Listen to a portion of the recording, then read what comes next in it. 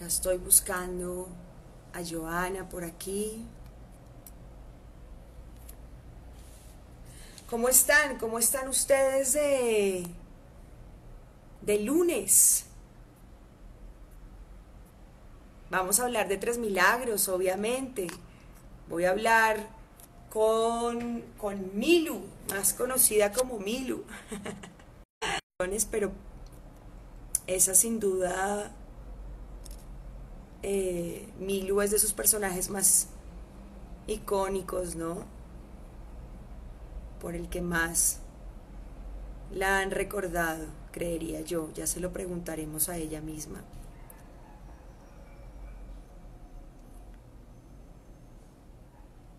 Y yo estoy muy bien, muchas gracias por preguntar. Yo estoy muy bien. ¡Hola! ¡Hola! ¿Cómo estás? Angelique. ¿Qué es esta dicha? Tiempo sin verte. Qué bueno. Ah, que nos encontremos, aunque sea por acá. Qué bueno, ¿cierto? ¿Cómo, estuviste ayer de Día de Madres? Feliz. Feliz. ¿Sí? Además es que estoy, tengo una ventaja y es que mi mamá vive en el edificio de al lado. Ok. Entonces nos vemos de terraza a terraza. Entonces ayer hicimos un almuerzo, ella en su terraza, yo en la mía, pero pues estábamos ahí todos juntos. Entonces. Ah, están muy eh, juiciosos cuidándose en la cuarentena. Claro, es que mis papás ya tienen como 73, tiene mi papá, y mi mamá 75. Entonces, están cuidándose mucho. Hay que cuidarlos, hay que cuidarlos. ¿Y cómo pasaste con tus hijos? No, pues feliz con mis hijos. Mía le hizo una serenata a la abuela eh, en piano. Y nada, y estuvimos aquí en la casa todos, con Simón, con Mía, con Evelyn y Juan, mi esposo, y yo. Estuviste con Evelyn ayer, qué belleza, esa criatura es demasiado linda. Evelyn está conmigo hace mucho ya. Ya, ya la tengo de custodia temporal. Ya vive conmigo hace ah, Ah, ok. Bueno, dicha, ella debe estar feliz. Sí. Con esos hermanos tan divinos, tan talentosos. ¿Qué es, lo más, ¿Qué es lo más lindo de ser mamá? ¿Qué, ¿Qué ha sido para ti hasta ahora lo más lindo? Sabes que hace poco me lo, me lo preguntaba una amiga mía que no tiene hijos y me preguntaba como, dime como qué es lo, lo, tan increíble que es ser mamá, o sea, que me estoy perdiendo, mejor dicho. Y nunca me han como hecho esa pregunta, pues obviamente uno siempre, pues sí, es divino y el amor incondicional y no sé qué, pero eh, creo que lo que realmente hace algo muy especial ser mamá es que uno deja de pensar en uno mismo, ¿no? Que ya uno empieza a pensar en otras personas, que por arte de magia el egoísmo se acaba, es que le toca a uno. O sea, uno ya no piensa en uno, en uno, en uno, sino en los hijos, en los hijos, en los hijos. Entonces, creo que ese cambio es maravilloso, sentir que uno ya puede hacer algo por alguien más y, y, y, como, sí, como que, que hacerlo por alguien más y no solamente por uno, creo que eso alimenta el alma y eso lo hace uno muy feliz, aparte de obviamente todas las maravillas que, que es pues, ser mamá y tener pues esos niños maravillosos que alegran la vida de, de todo el mundo. ¿Y qué ha sido lo más difícil para ti? Lo más difícil, eh, bueno, pues la educación, me parece que, que hay que educar con ejemplo. Entonces es bien difícil. Duro. Porque, porque entonces e, e, es, pues tener esa responsabilidad de, dar un buen ejemplo. Una ha sido muy loquita y muy rumbera. Exactamente. ya por lo menos a mí ya le tocó un mejor ejemplo que a Simón. A Simón sí no le tocó tan buen ejemplo. Sí, eso es, eso es, eso es bien difícil. Para mí también eso es lo más difícil de ser mamá, como ser consecuente con lo que estoy diciendo, ¿sabes? Como que si te estoy diciendo que no hagas eso, pues no lo puedo hacer yo, obviamente. Exacto, exacto. Sí, es como, no pegues y pan, y no les da una nalgada, pues. Exacto. Como así. Y pues, de acuerdo. O no grites y no les grita. más duro. Eso, es como lo más difícil, creo yo. Sí, o, no perder la compostura en la calle. Ha sido difícil con tres, con tres hijos. Es que tres son tres. Uy, tres son tres y pero es que sabes que son muy juiciosos. La única que es necia es mía. Simón es un santo, Evelyn es una santa, mía es necia, pero bueno, es una necia. Y los otros dos, me ayudan, Simón me ayuda mucho. Sí. Simón ya es grande, Simón ya va a cumplir 12 años. Divino, está como brisa. ¿Ya Brisa tiene 12 años? Sí, cumple 13 en octubre. No, cumple en octubre. O sea, una adolescente. Ya. Sí, sí, sí, sí, sí. Las adolescentes niñas creo que son, somos más difíciles que los niños, no sé. Más complejas de entender. Sí, sí, sí. Y con las mamás somos más, con las mujeres, ¿no? Entre nosotras a veces somos un poco más duritas. Ah. Sí, es verdad. ¿Cómo te ha transformado esta cuarentena? ¿Te ha modificado mucho la vida?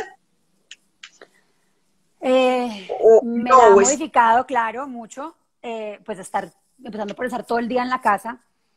Yo soy una persona muy activa, que me gusta estar en movimiento constante, haciendo cosas eh, y, yendo y viniendo y como así, y pues estar aquí.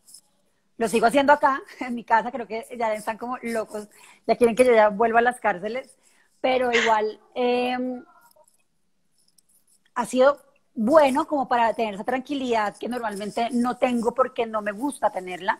Entonces, eh, tenerla y disfrutarla ha sido delicioso. Estar con mis hijos todo el día, maravilloso.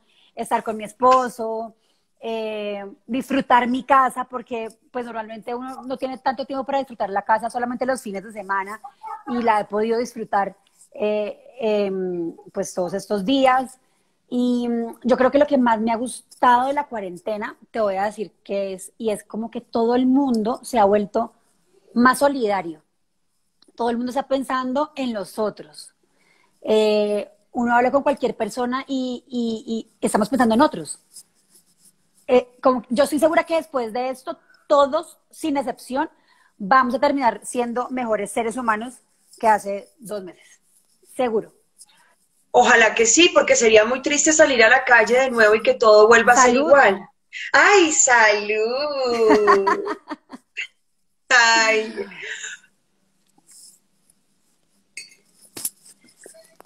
Oye, la Deli, quiere tomarnos un vinito juntos. conversar y echar rulo. La gente está loca porque hablemos de tres milagros. Cuenta. Yo soy, no, pues, más ciega, tú no sabes. A mí ya los años no veo bien. Vamos para bueno. Okay. No es bien, pero, pero oftalmólogo. O, o sea, me toca hacerme acá.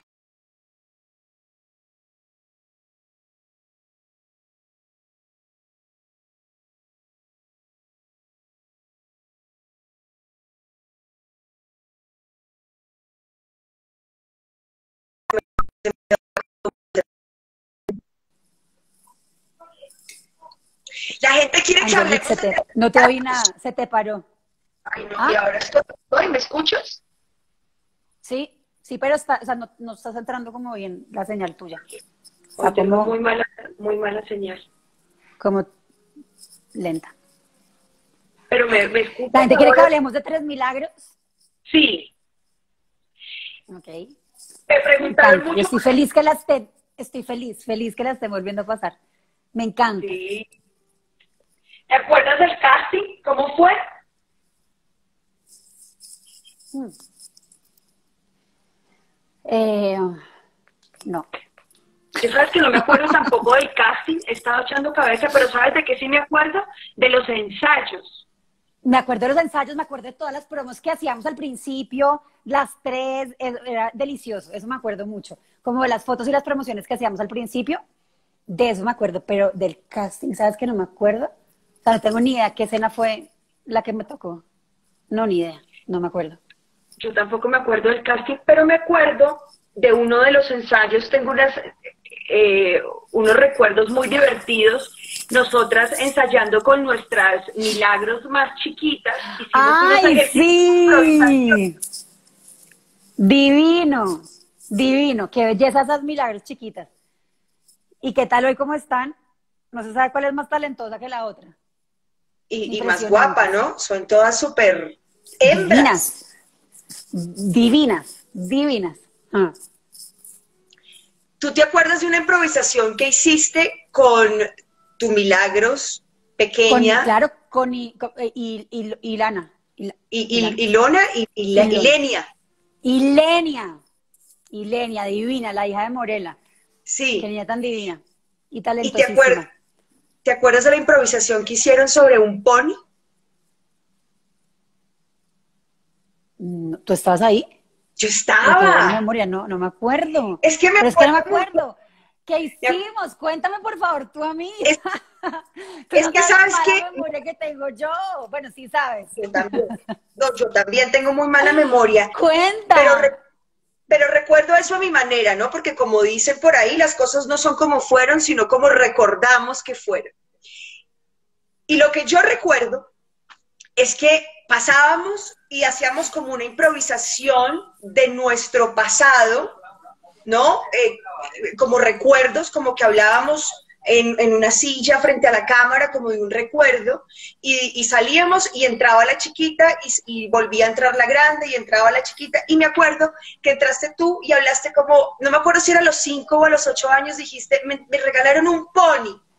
Entonces luego entra Ilenia y dice, sí, y yo lo guardé y yo lo metí en el balcón de mi cuarto.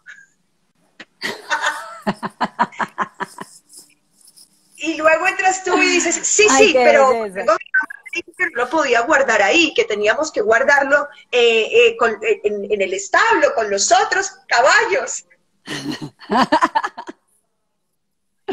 fue, fue, muy divertido ese momento. Yo me, la, yo me la estoy viendo otra vez, te cuento. Yo la dejo grabando por las noches y me la veo al día siguiente tempranísimo. Es que yo me, yo me duermo como a las 8 y me levanto a las cuatro y media, 5. ¿En serio? ¿Incluso en cuarentena? mucho más. O sea, en cuarentena me podría dormir, o sea, a las 7 me voy a dormir. Colgamos y me duermo.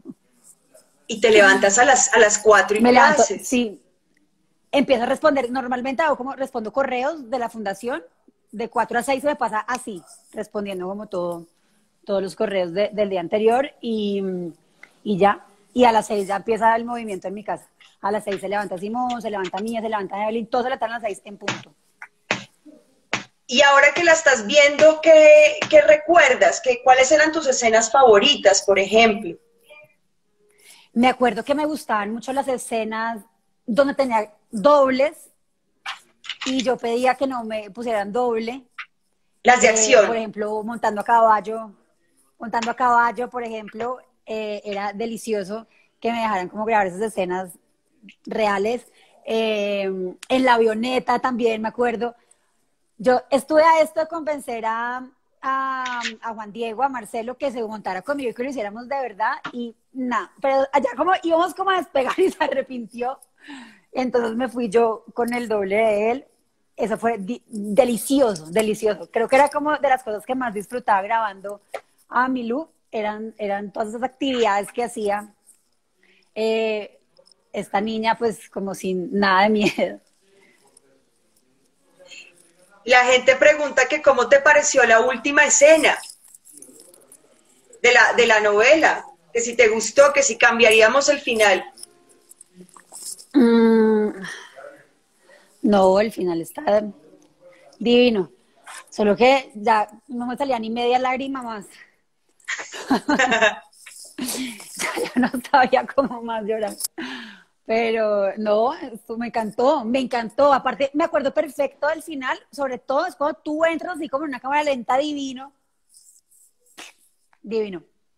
Ah, Yo tenía mucho miedo de esos A mí me estopines. ¿Te acuerdas que me pusieron uno en el cuello? Ah, sí. Y yo tenía mucho miedo que eso me, que eso me, me estallara mal en la cara o alguna vaina de esos. Finalmente no pasó nada, todo muy controlado y todo muy profesional, pero recuerdo ese miedo de esa secuencia. Nosotros igual casi no grabábamos, nos encontramos pocas veces. Casi no nos tocaba juntas. A ninguna. Mm. A ninguna, eran universos distintos pero total. Es más, ¿sabes? Por ejemplo, ahora cuál me ha gustado mucho y no me acordaba bien de, ese, eh, pues ahora que me lo estoy viendo otra vez, el de Farina. Me fascina esa historia. Claro, su universo era maravilloso, maravilloso. Ahora lo veo como, no sé, todo, no sé, me gusta más. Mucho más esa historia. ¿Qué, es mi preferida? Honestamente es mi historia preferida. Sí. A mí me encantaba, a mí me encantaba mucho también, me encantaba la de Farina, luego la tuya y luego la mía. Lo que pasa es que después cuando soy policía, pues me empericulé con esa vuelta un montón. Pero la mía era muy ñoña, muy llorona, muy llorona, sufrida. Divina. Sí, pero era linda, era, era amorosa, era, me acuerdo, muy buena, muy buena demasiado buena. Demasiado buena. Los, eran, eran muy marcadas las personalidades y debían ser así por tener poquito paso la, la escena cuando tú llegas a donde Fer y estoy yo, yo te abro en calzones. Ay, esa escena, claro. Ay, yo, ay, no, o sea, ese personaje tuyo era como, yo, ay, no, o sea, que... Era súper frágil. Y tú toda pintada de morado, la boca, con, con tus uñas, peinados. Ay, esa escena estaba divina. Me acuerdo que la vi yo, ay, no. ¿Qué crees que tenían en común Milu y, y Joana? Eh, bueno, tenían en común muchas cosas. La rebeldía es como lo que más teníamos en común. En mi adolescencia eh, fui bastante rebelde y bueno, esta rebeldía la tiene Milú. También como como lo, como que no les da miedo nada, como que se de una, vamos a hacerlo de una, hagámoslo, hagámoslo, hagámoslo de una, como súper lanzadas, digámoslo así eso también. Y mm, ya, yo creo que como que eso es lo, más parecido. No somos tan parecidas, no crean. Milu no es tan chévere. A mí Milu me está cayendo súper mal ahorita. Claro, porque ya la ves con unos ojos más, más grandes. En ese entonces no, no teníamos hijos, o sí, ya estaban los niños. No. Es que ya estaban chiquitos. Sí, porque yo me acuerdo que una de las últimas escenas que, que grabamos, me acuerdo que yo fui con Simón y era una escena como, era damas de disparos. Entonces Simón como que dijo, ok, yo le dije a mi hermana a matar, pero de mentiras. Entonces, ok, y él se sentaba ahí a ver. Y mm, sí, claro, teníamos a nuestros hijos. Si te acuerdas que yo llegué a grabación un día tarde, tú también llegaste tarde porque estábamos en, en, diciembre en una cosa de una clausura. Y que gracias a la ah, clausura yo pasé a Simón al colegio de tu hija. Así estuvieron juntos un ratito en el jardín, era. En el jardín. Y, lo, y lo, yo lo cambié de colegio por lo que tú me contaste que habían hecho en la, en la clausura, me acuerdo. Porque la mía había ah, sido bien regular y cuando tú me contaste lo que habían hecho en la, dije, no puede ser, yo quiero tener a Simón en ese jardín. Y ahí estuvimos felices. Es verdad, estuvimos muy felices. ¿Extrañas actuar, Johan? Hace poco supe que actuaste, ¿estuviste en, en enfermeras? Ah, sí, pero sí, pero haciendo hice de mí. Una participación. Y como yo, como Joana. O sea, era. ¿Y extrañas a No, pasé feliz ese día. Fueron dos días que grabamos, pasé feliz grabando esos dos días, pero, pero no, no, porque es que, verdad, las cárceles es realmente mi pasión. Es o sea, entrar a una cárcel a mí, de verdad, lo que me mueve el alma y el corazón. Igual pasé feliz esos dos días grabando en enfermeras, pero fue muy raro porque era, pues, o sea, era una interna que llegaba a la clínica y llegaba Joana Bamón de la fundación a estar con ella, entonces pues era lo mismo. Pero no, me hace falta. La fundación te ha llevado a ser pionera en un montón de cosas, hoy estaba viendo. O sea, lo dije al principio, primera vez que un grupo de teatro que es formado en una cárcel tiene la posibilidad de salir al exterior, valga la redundancia en este caso, y presentarse además en un festival iberoamericano. La primera persona que puede crear un restaurante con personas privadas de la libertad entrando y saliendo, ¿no? Con las puertas prácticamente abiertas haces un TED hablando también de la fundación. Han sido muchos logros, ¿no? A lo largo de estos, ¿qué? ¿Siete años ya? Ocho. Ocho. Ocho años y mm, sí, y creo que eso es como lo más lindo que ha pasado como en todos esos años y es como eh, abrir estas nuevas puertas, innovar en, temas de resocialización, em, generar cambios.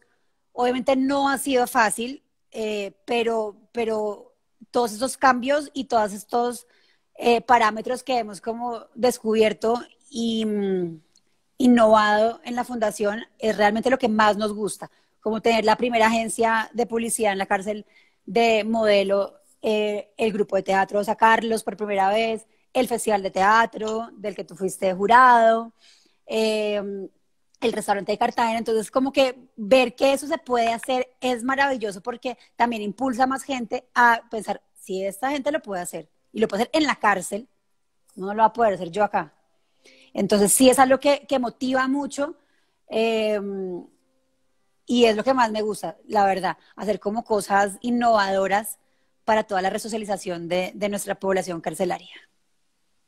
¿Cómo, cómo se forman esos proyectos? ¿Cómo, ¿Cómo aparecen esas ideas? ¿Sabes? ¿Cómo tener una agencia? Porque además es súper variado, o sea, tienen vino, teatro, ropa, sombreros, zapatos, en algún momento creo que hicieron joyas. ¿Cómo, llegan esos proyectos a la fundación? ¿Cómo, cómo se gestan?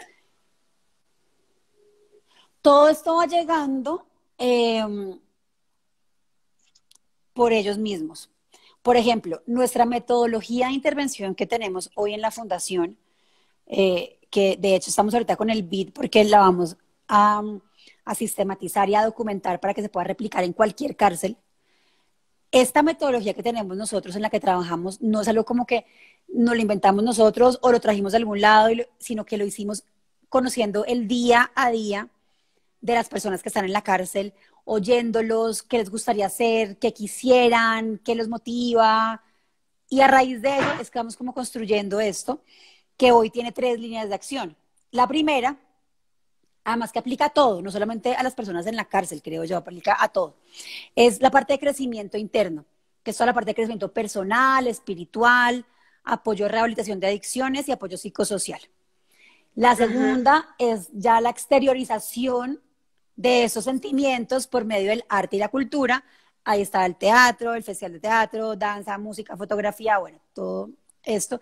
Y esto genera un equilibrio entre lo interior y lo exterior y ya los hace como tener un rumbo, un propósito y ahí entra el tercer programa, que es trabajo interno, que ya es toda la parte de productividad. Que las cárceles no sean solo centros de reclusión, sino centros productivos. Entonces ahí está el restaurante, está la agencia, ellos empiezan a tener ingresos desde que están en la cárcel, se preparan para la libertad. Em, con sus familias también, por ejemplo, a nosotros nos gusta mucho, en los sombreros y todo esto que tú ves que hacemos, nos gusta mucho esos ingresos, dárselos a las familias, por ejemplo. A las familias de esos Es una forma de volver a... Sí, claro. Entonces, cada interno que pinta o que hace cualquier cosa, él nos dice a quién quiere que le paguemos. Y eso es muy lindo porque vuelve como a generar que al hijo le llegue como una... Todos los útiles escolares que se los mandó el papá de la cárcel. Es lindo. Eh, vuelve a generar ese vínculo. Claro.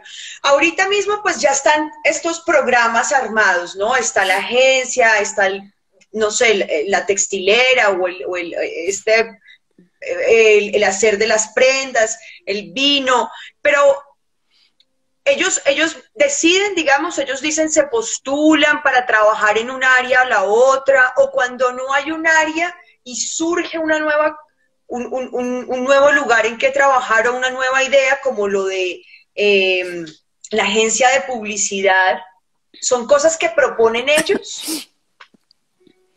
Son cosas que hay unas que proponen ellos, por ejemplo, en Cartagena, ellas querían cocinar en la agencia hicimos una convocatoria. Dijimos, hay que hacerlo acá porque hay 5.000 personas que estoy segura que el talento aquí es impresionante y así ha sido.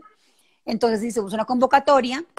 ¿Quién quiere estar en la agencia? Normalmente hacemos convocatorias y tratamos de involucrar a todas las personas porque, digamos, en, la, en el restaurante trabajaban las personas que ya iban a salir en libertad.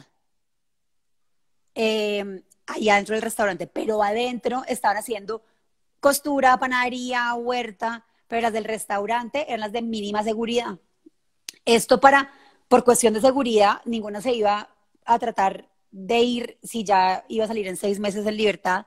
Segundo, eh, para que rediman tiempo y puedan salir rápido y venga otro, otro grupo y así todo el tiempo estamos como rotando y más personas tienen esta oportunidad.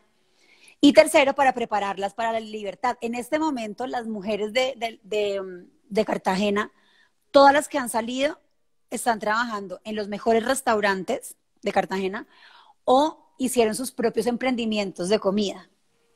Y ninguna ha reincidido. Eso es lo más importante. ¡Wow! Pues eso es lo más interesante de eso, ¿no? Como realmente no reincidir. Exacto. Realmente ahí sí se aplica el tema de la segunda oportunidad y aprovecharla, ¿no? Exactamente. ¿Cuántos proyectos hay en la fundación ahora entonces? Yo estoy como oscura o ahí me ven.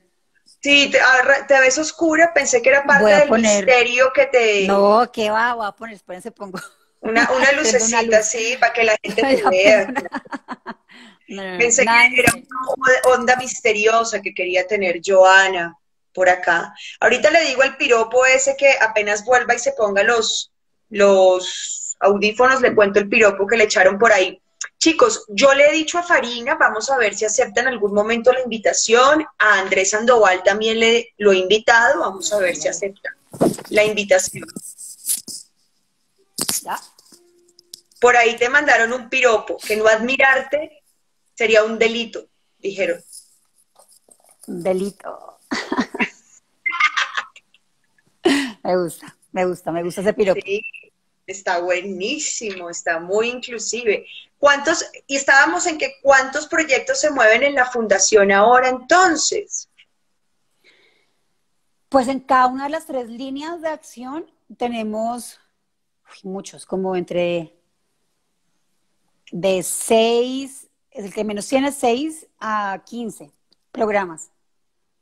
Wow. Es, mucho. O sea que cuántas personas. Ha sido también un momento, hemos trabajado hasta hoy en 132 cárceles de Colombia con 30 mil personas privadas de la libertad. De las 132 en 32. Todavía nos faltan 100. Faltan 100.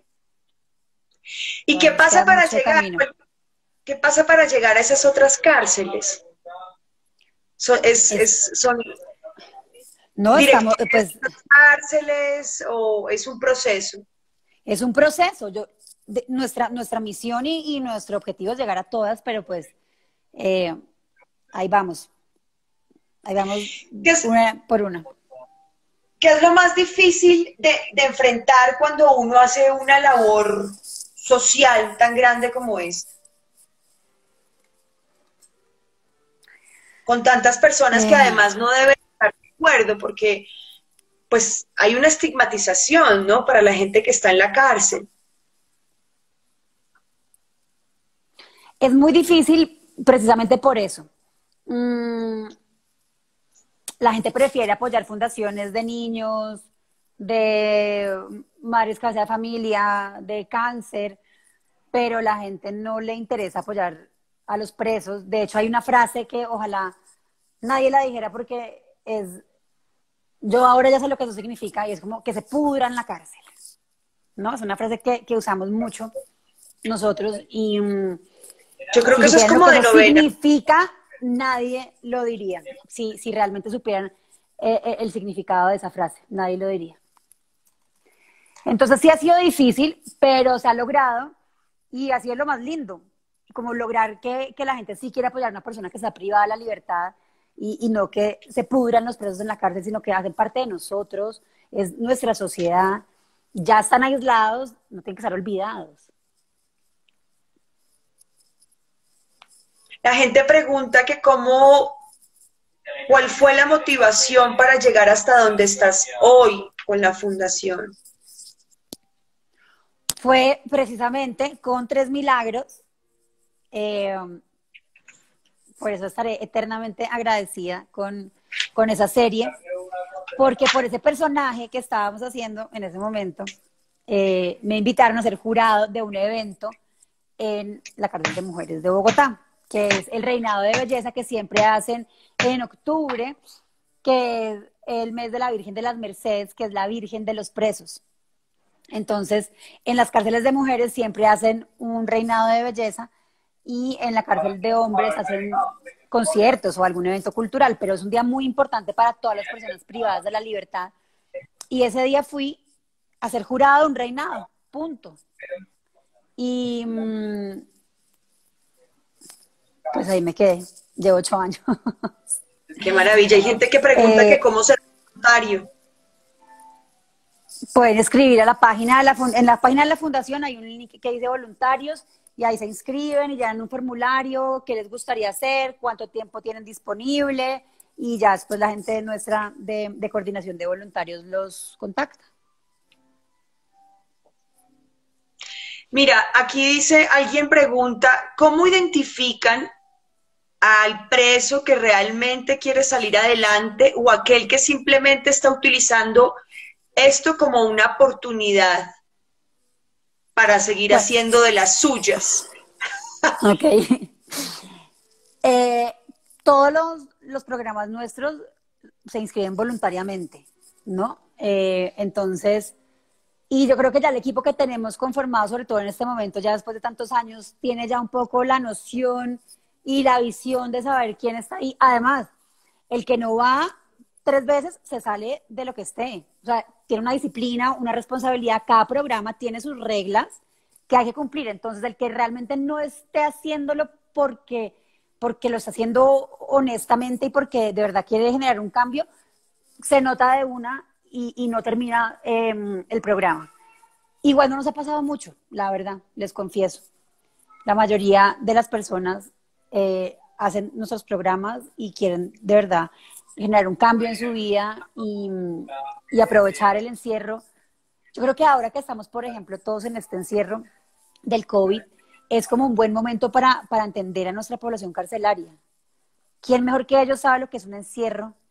Y, y, ahora que hay veces que como que la gente se desespera porque no, no puedo salir de cuatro paredes, pero son cuatro paredes que miden más de tres por dos, que es una celda donde comparten con ocho personas y el baño que cada uno está usando en sus casas seguro es solo para usted o para cinco personas más y no para 150 personas.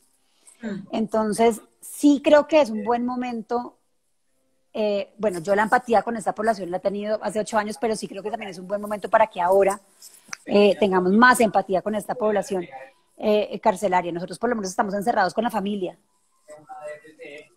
Sí, y en unos espacios también, mm, pues que hemos creado a nuestro gusto, ¿sabes? Con nuestros objetos, lindos o feos, pero han sido las cosas que nosotros hemos puesto allí para nuestro gusto y nuestro placer también. Exacto. Eh, hay gente que se hay gente que se pone muy muy severa. Aquí hay gente que dice si hay oportunidades para gente que son violadores, asesinos, que si ellos también aplican en estos programas. Bueno, qué bueno que me lo pregunten. Eh, nosotros en la fundación trabajamos para la resocialización y esta gente, eh, violadores de niños, eso es una enfermedad, eso no se resocializa. Eso es una enfermedad que toca tratarla de otra forma que nosotros no manejamos. Entonces, creo que ahí eh, respondo la pregunta. Eh, eh, estas personas no, no están en nuestros programas, de hecho, porque ni siquiera los mismos internos dejan que esas personas salgan porque ellos y participen. No, no se relacionan, digamos, en un grupo de teatro, ellos, los mismos reclusos, no querrán socializar con ellos también. Así es, entonces ellos mismos hacen esa, ese filtro, por decirlo así. Y por otro lado, nosotros como fundación ese tema no lo manejamos. No sabemos cómo manejarlo. Eh, se maneja de una forma diferente que no lo hacemos nosotros. ¿Y los asesinos dicen?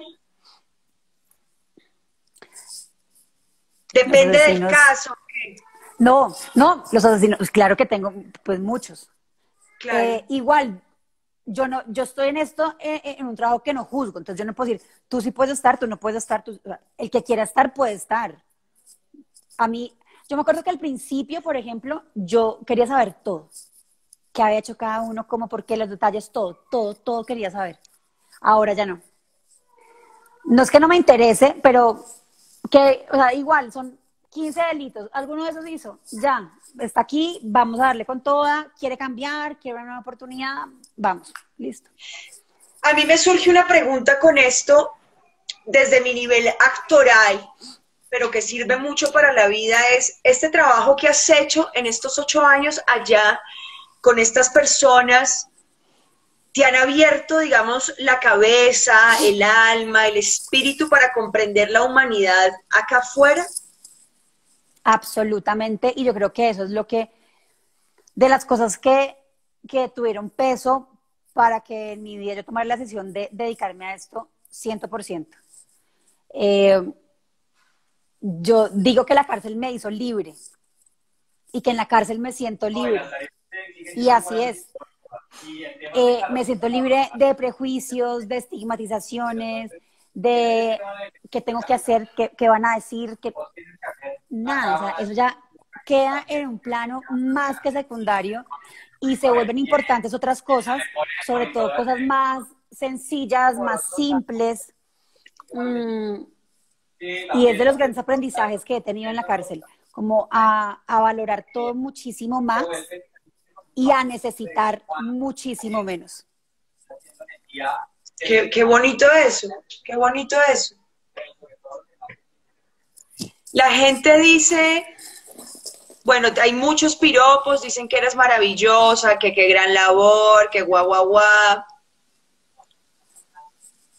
Que si vas a volver, que si vas a volver a los escenarios, que si quieres volver a actuar realmente, ¿pasaría? ¿Te gustaría? ¿O ya definitivamente no?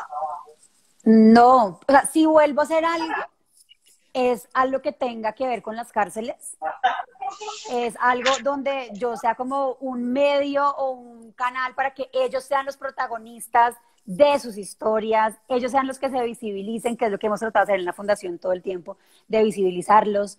Entonces, si es para algo que tenga que ver con las cárceles y, cumpla como con esta finalidad, mm, pues sí, volvería hacer algo claro. Si es de la cárcel, si no, no, y lo tengo clarísimo.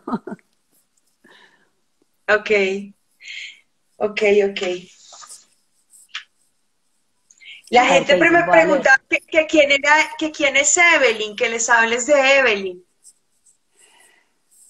Se las voy a mostrar. Evelyn está ahí. Y se las voy a mostrar para que vean la belleza que es. Evelyn está ahí. Nadie me para bolas porque les dije que no, que no hablaran mucho. Son súper juiciosos. hasta las 7. Son súper juiciosos. Eh, Evelyn es la hija de una persona que está privada de la libertad, que se llama Clary, que la quiero con todo mi corazón. Y en las cárceles los bebés están con sus mamás de 0 a 3 años. Y a los 3 años, si tienen un acudiente, se van con el acudiente y si no, se van al bienestar familiar. Entonces, esta figura de acudiente empecé haciéndola yo con Evelyn. Entonces, por ejemplo, desde los tres meses, Evelyn ya ahora tiene un año y ocho meses. Y yo empecé haciendo su acudiente cuando tenía tres meses. Entonces, por ejemplo, eh, la sacaba los fines de semana a, a, nada, que como que saliera de la cárcel y pasara bien, como un fin de semana de recreación y listo. O los bebés se enferman todo el tiempo, entonces, ¿quién los lleva a urgencias? Entonces, la acudiente va, los recoge en la cárcel por la noche, los lleva a urgencias, después se lo vuelve a llevar la mamá. Es literalmente alguien a donde la mamá pueda acudir, ¿no? Así empecé con Evelyn, pero pues después de un tiempo eh, ya tengo la custodia temporal de ella. La mamá prefirió que estuviera todo el tiempo por fuera mientras ella sale de la cárcel.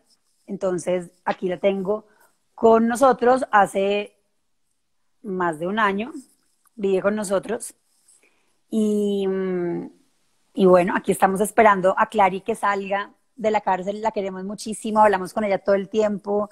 Eh, y Evelyn es, divino, es, eh, eh, es, otra hija más, la amo con mi alma, mis hijos la aman, Mía ama, que llegó una hermanita, obviamente ellas duermen en el mismo cuarto, Entonces, ya se cree la hermana mayor, ya comparten todo. Eh, no, divino. ¿Y cuándo ha sido, sale ha sido algo muy lindo para mi familia. ¿Cuándo sale Clary? Ah, ya casi. Muy pronto. ¿Y, y cómo estás Muy. preparada para, para, para la partida de Evelyn? Pues todo el mundo me pregunta eso y mm, yo me he dedicado como a preparar a mis hijos, por ejemplo, ¿no? Ellos ya saben, lo tienen claro. Eh, a mi esposo, a todos los que vivimos en mi casa, como que yo me, me he dedicado un poco más a prepararlos a ellos y no tanto a mí. Mi esposo dice que la, o sea, la que más va a estar afectada soy yo, según él.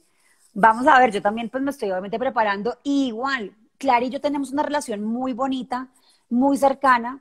Entonces, eh, y ya lo tenemos hablado y acordado que ya Evelyn es parte de nuestra familia y lo mismo que ella, que Claribel también es parte de nuestra familia. Ella cuando salga se va a ir a Pereira, pero voy a seguir viendo a Evelyn los fines de semana, en las vacaciones me la mandan. O sea, ya para siempre, Evelyn y Claribel, ambas, no solo Evelyn, las dos son parte de mi familia.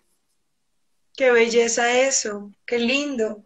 Y, y Clary ya sabe por qué va a encaminar su vida cuando salga, con alguna de las tareas que le ha propuesto la fundación, por ejemplo. En, en eso estamos, de hecho, bueno, eh, los últimos meses me dijo que quería algo de cocina, entonces estábamos ahí como trabajando en lo de la cocina. Y ayer, justo ayer que hablamos en el Día de la Madre, eh, para felicitarnos mutuamente, eh, me dijo que no, que ya no quería cocina, que ahora quiere como algo farmacéutico. Entonces, bueno, vamos a apoyarla con todo para... Pues en estas épocas de pandemia, eso está muy bien, lo farmacéutico. Claro, pues sí. Bueno, pongámonos, pongámonos rum, pongamos, a Vicky, por aquí está tú.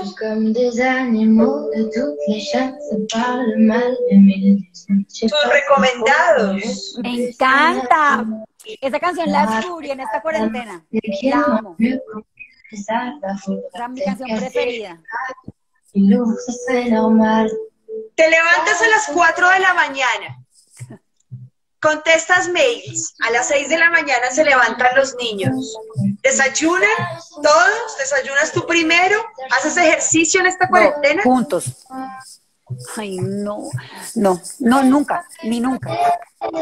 ¿Y nunca? Quisiera. ¿Cómo haces para Siempre trato, trato de empezar, trato de empezar. Trato, siempre trato. Siempre estoy intentando. Voy- hoy empiezo, hoy, no, y no, no lo hago. Y no lo haces. Oh, por Dios, ¿y entonces cómo haces? ¿Dieta? Tampoco. Sí, claro. Pues no, sí, sí, sí, sí, sí. Claro, no, pues si no. No, sí, sí, trato como de cuidarme con la comida, pero ejercicio no, no lo logro. Qué pesar, porque de verdad me gustaría, pero soy muy floja, la verdad, para el ejercicio. Y por las mañanas desayunamos todos los días, es como un ritual. A las seis y media estamos todos en la mesa. Bueno, no todos, mi esposo, sino mi esposo se levanta como a las siete. Pero estamos Simón, Evelyn y mm, Mía y yo sentados en la mesa, delicioso, hablando todos. Es, es como algo que tenemos como de costumbre y, y- y- y- y lo- nos esforzamos para que siga pasando siempre. La gente dice que cómo se llama la canción, a ver si lo digo bien, yo no sé francés. ¿Balas tu? Sí. La va a mirar. Ba- Son dos Balas las- tu, hay dos de- balas tu quoi y la otra era oui o no. Ajá. ¿Qué prefieres, té o café? Angelique, très bien. Angelique. Ay, y qué perfecto no. Angelique. No, no, no, para nada, para nada, que hablo francés. ¿Tú, estu- tú estudiaste en colegio que bilingüe inglés y francés? No, solo inglés. Solo inglés, no, yo Solo sí estudié en la inglés, pero-. Como yo, yo era bien necia, mis papás como de castigo, me acuerdo que un tiempo me metieron a la Alianza Francesa y fue el mejor castigo del mundo, pues porque sí, sí sé un poquito de francés. Maravilloso. Qué bien. Très bien. Bueno. ¿Té o café? Nos vamos por mi cuestionario. ¿Té o café? Dale. Café, ¿Chardonnay o Malbec? Malbec, ¿El día o la noche? Ah, se cortó. ¿El día o la noche? El día, el día. Sí, sí, si se acuestas a las 7, efectivamente el día. No, suena una gallina, una gallina se sube al árbol y con ella se va Juana, vamos. Ay, de una. ¿Montaña o playa? Playa. Playa. ¿Yoga o pilates?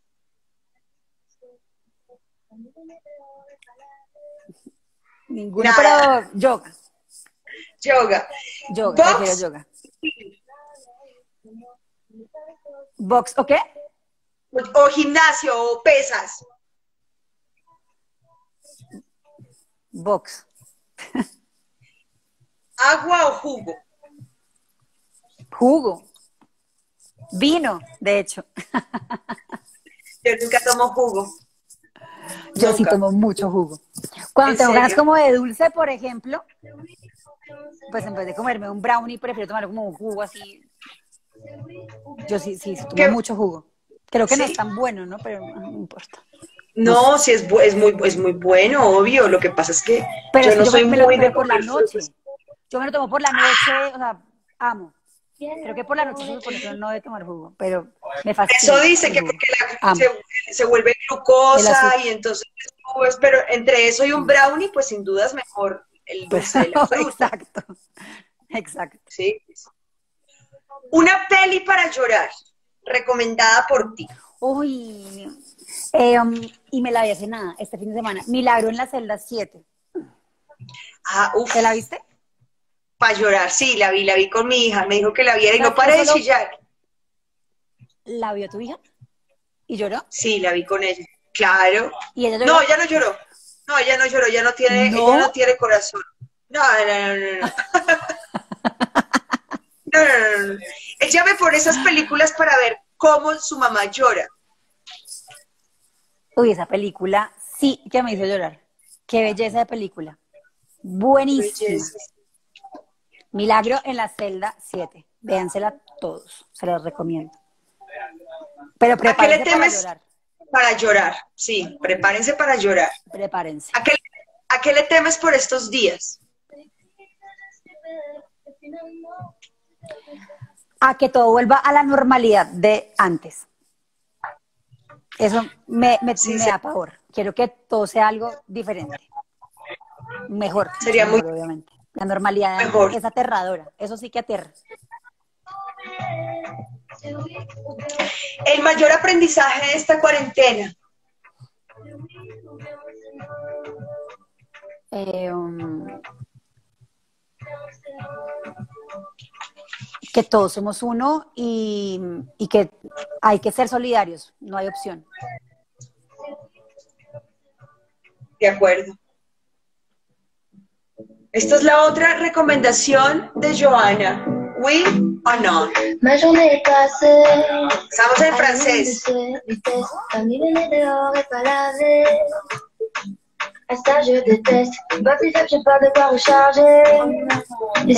Bueno, mi está linda, sí. La gente pregunta que cómo se llama el artista. Angel se llama el artista. Esa la encontré así, o sea, yo nunca había oído a esa, artista, la encontré casualmente. Yo estuve el primer mes y medio de cuarentena eh, afuera de Bogotá y, y pues ya llevo dos semanas aquí en la casa y ahí la descubrí como, como que cuando uno deja una canción puesta y empiezan como, a- como, como el radio a poner como canciones parecidas en Spotify y ahí me salió esta y que y fue mi canción de la, o sea, es mi canción de la cuarentena, la amo.